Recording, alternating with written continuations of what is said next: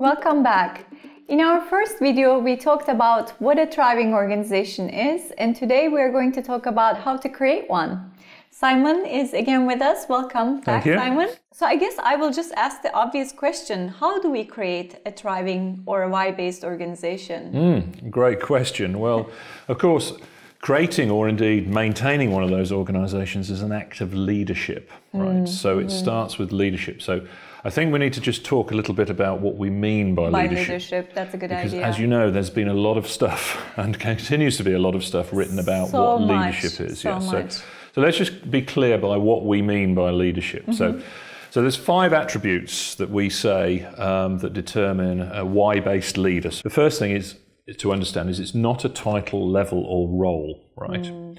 So le- that's good news because leadership is now available to everyone. Everyone can be leaders of their own lives, leaders of people around them. So that's the first and most important point. I love that. Mm-hmm. Second point is, is about creating a vision of what you see in the world, a vision that inspires other people, mm-hmm. right? Mm-hmm. And where does that vision come from? It comes from your why, your cause, purpose, or belief. So that's the third point: is it's sourced from your why and, and you paint a picture of what that world looks like for others. And they choose, this is the fourth point, they choose to follow you mm. because they believe the same things as you do. Mm, they share values. Mm-hmm. Yes, and your vision of success and your why, your purpose, your cause, and your belief.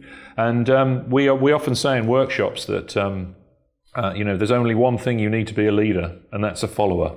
Okay, interesting. so, so it's not about the leader, and that's the fifth principle. It's not about the leader. It's sourced from their why, their mm. their cause and belief, but it's um, but it's uh, about serving others. So those are the five um, principles about leadership.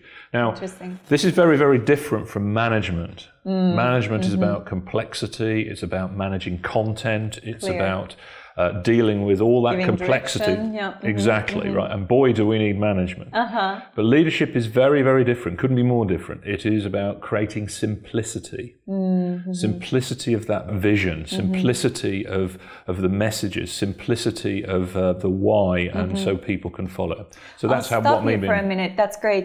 So in management, we can obviously teach people certain practices. We test them with tools uh, we help them understand organizational psychology, etc.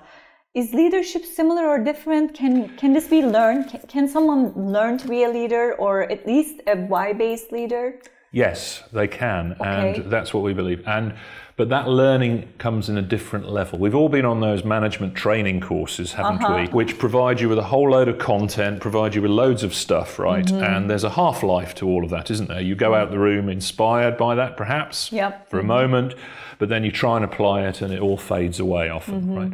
Mm-hmm. So to create this sort of leadership is a deeper level of experience for that individual. So it mm. starts mm-hmm. with the individual so that it shifts mm. the context for them in the way that they know and understand the world around them and how they relate to people. And if you start there, you mm-hmm. can learn this uh, this leadership for yourself. It's less about being taught, but learn it for yourself. Interesting. It's almost a personal journey, a spiritual journey. Most, almost it sounds it, like. It yeah. almost it, it is, and mm. it starts from that place. And um, we have a simple saying which forms the curriculum, the framework that we sure. develop leaders, which is if you want to lead change, uh-huh.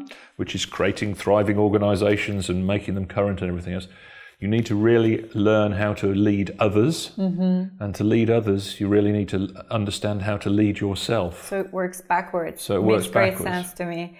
Talking about a curriculum, there's a gazillion different management and leadership curriculums out there. If we think of this as a leadership curriculum, how would that be different than anything else that's being offered currently? Well, an, an, another great question, and and so those five principles about leadership would be one of them. But I think it's mm. um, three important things: uh, sourced from your why. Mm-hmm. So it's an authentic, authentic journey that mm-hmm. starts with the individual. I think it's about building on strengths as well. Okay. Mm-hmm. So uh, mm-hmm. it's a lot of leadership or development programs about spotting gaps and fixing them. But let's build on the strengths that um, that are our natural talents that we've invested in for a reason reason because Sure. those are the things that feed us and feed our soul. And and the final and third thing is is really about making. You made that point earlier that making that authentic and personal journey for mm-hmm. people and mm-hmm. starting it. So mm-hmm. really understanding who I am. Um, what motivates me, and so that I can be more authentic in my communications to others. Well, those are all great news. So it can be learned and there's a way to it. I guess there needs to be a desire because it touches self. Yes. Um, but all the better, I would say. So in our next video, then we will talk about how to lead self, right? So that might be interesting for uh, some of the viewers, and we hope that you come back and see that video. Thank you so much, Simon. Thank you.